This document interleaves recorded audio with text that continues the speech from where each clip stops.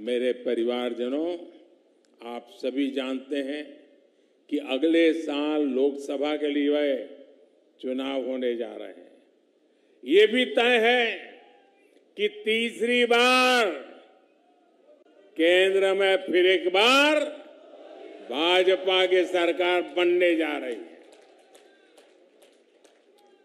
मध्य प्रदेश का विकास तेज हो सके इसके लिए मुझे यहाँ भी स्पीड ब्रेकर नहीं चाहिए ब्रेक लगाने वाले नहीं चाहिए रिवर्स गियर लगा के बैठे हुए लोग नहीं चाहिए।